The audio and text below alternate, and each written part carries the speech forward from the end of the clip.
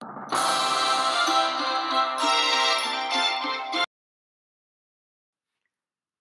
and welcome to Mr. Morton Science Videos. I'm Mr. Morton and this week we are looking at A-level chemistry past paper questions. As always, the paper we're looking at is uh, linked in the description below so you can have a go yourselves. This video we're looking at AQA Chemistry, uh, Chem 1 Foundation Chemistry from May 2014 and we're looking at question 2.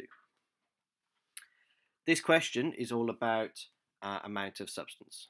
Question 2. When heated, iron 3 nitrate with a molecular mass of 241.8 is converted into iron 3 oxide, nitrogen dioxide, and oxygen. And it gives you the formula there. So we've got 4 moles of uh, iron nitrate goes to 2 moles of iron oxide, 12 moles of nitrogen dioxide, and 3 moles of oxygen. A 2.16 gram sample of iron 3 nitrate was completely converted into the product shown. Calculate the amount in moles of iron 3 nitrate in the 2.16 gram sample. And the important part there is where it says give your answer to three significant figures. So, first thing we need to do is write down what information we've got. We've got iron nitrate. We know that there is 2.16 grams.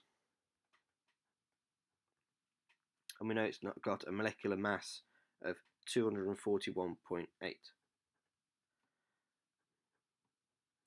Okay, we can use this information to work out the number of moles.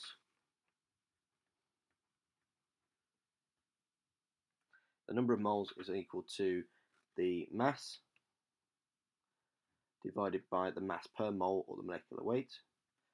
Okay, so we're going to take 2.16 and divide that by 241.8 and that's going to give us an answer of about 0.008933 moles. But the question asks for three significant figures, so we just need to round that off equals 0.00893 moles.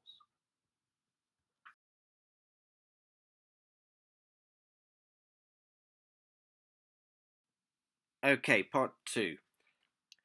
Calculate the amount in moles of oxygen gas produced in this reaction.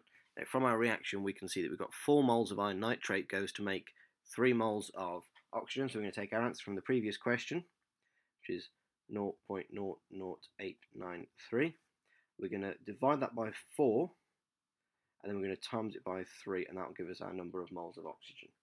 So equals 0.0066975. And if we look at this answer, it's about three quarters of the original answer, which is about right.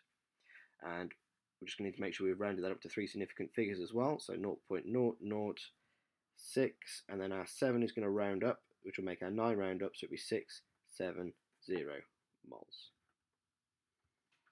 2a part 3. Calculate the volume in meters cubed of nitrogen dioxide gas at 290 3 degrees Celsius and 100 kilopascals, produced from 216 grams of iron nitrate.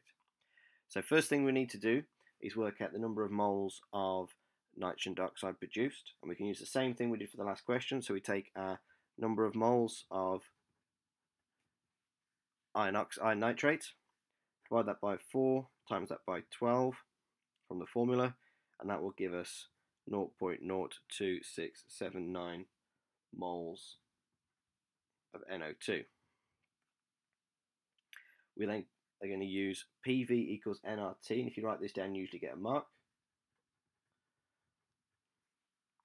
We've got to rearrange that because we were trying to work out volume, so we get volume equals nRT divided by P. And then we need to put everything into that formula, making sure that we've got the standard uh, units. So, volume equals 0.02679 times 8.31, that's the R it gives you in the question, times the temperature in Kelvin. Now to work out the temperature in Kelvin, we need to do 293 Celsius plus 273, and that will give us an answer of 566. So we're going to put 566 in our formula. We'll then divide that by the volume sorry, by the pressure in pascals. And the one it gives you in the question is kilopascals, which is 1000 pascals. So instead of 100 kilopascals, we're going to do 100 times 1000, and that will tell us the number of pascals.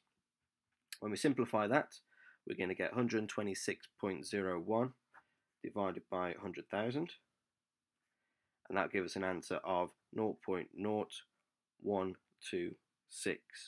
Uh, 0.0126101, which we can round off to three significant figures of 0.0126 meters cubed.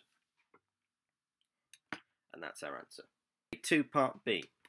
Suggest a name for the type of reaction that iron 3 nitrate undergoes. Now when you look at the formula, we've got iron nitrate on one side and it's been broken down into three other things on the other side. And in the question it tells us that we're heating it. So the type of reaction when we're heating something to make it break down is called thermal decomposition.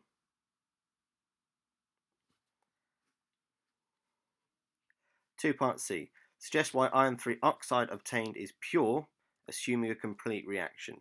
Now, I had to, had to think about this one because it's not as obvious as some of the other parts of the question, but I think what they want you to say is that the other two products are gases. So they're asking you to, to recognise that these two are gases, so they wouldn't be in the products. You just end up with a solid iron nitrate because it's completely converted. So I would say that the other two products are gases. Okay, thank you for watching. Hopefully you've learnt something today. Um, check out some of the other videos on the channel and we're moving on to question three.